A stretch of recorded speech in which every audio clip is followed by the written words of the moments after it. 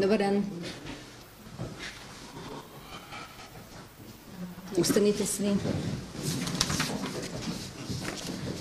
Sud objavljuje ime Republike Hrvatske presudu. Prvo okrivljeni Marko Jurić i drugo okrivljeno trgovačko društvo Plava produkcija JDO krivi su što su prvo okrivljeni Marko Jurić dana 12. i 19. siječnja 2016. u Zagrebu u studiju Z1 televizije kao urednik i voditelj emisije Markov trg u nakani da kod većeg broja ljudi potakne osjećaj mržnje i netrpeljivosti prema pripadnicima srpske nacionalne manjine u Hrvatskoj, vjernicima pravoslavne vjeroispovijesti u Hrvatskoj i svećenstvu Srpske pravoslavne crkve u Hrvatskoj, a upravo zbog njihove pravoslavne vjeroispovijesti i pripadnosti srpskom narodu, dakle, putem televizije javno poticao na mržnju usmjerenu prema skupini ljudi i pripadniku skupine zbog njihove vjerske, nacionalne i etničke pripadnosti.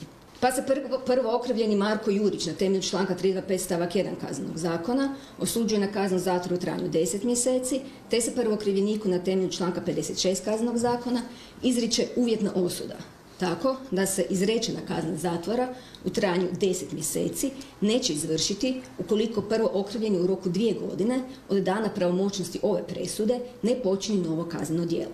Izvolite. Nije vas sramota zbog ovakve presude, gospođo sutkinja? Gotovi sam, možete. Stali ste na stranu četničkih ubojica. Ubojica hrvatskog naroda ste stali na stranu. Neko novo kazneno Sram djelo, vas treba biti. Hrvatski narod će vam suditi zbog ovoga i Bog dragi će vam suditi zbog ovoga. Gotovi smo. Vidjet ćete. Sram vas bilo.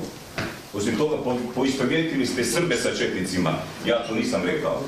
Sram vas bilo. I ohrabrujete četnike da nastave četnikovati na način kako su do sad radili. Sram vas bilo.